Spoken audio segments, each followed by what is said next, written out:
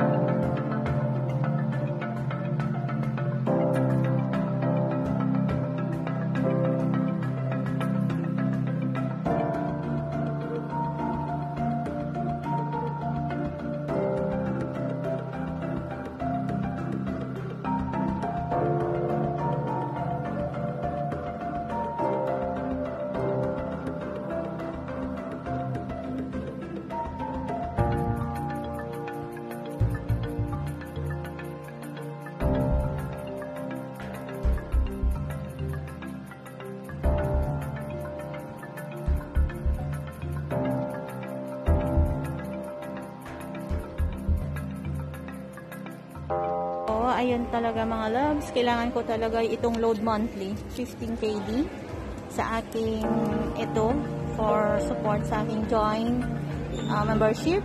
At saka 10 yung sa aking line. Okay? At saka uh, 7 KD sa aking wifi. So, yun. So, total is yung aking babayaran monthly is nasa 10, 25, a month. Yung, ito yung aking uh, load. So, para at least satisfied ang lahat. So, yun lang mga loves. See guys, nakita ninyo kung paano ako magbayad, kung paano uh, ako mag-load. So, sa mga loves dyan, sa mga supporters dyan, please comment down below or magbigay ng idea or tips paano mag-save ng babayaran monthly as vlogger sa isang internet. Ayan. Stay tuned mga loves and thank you for watching.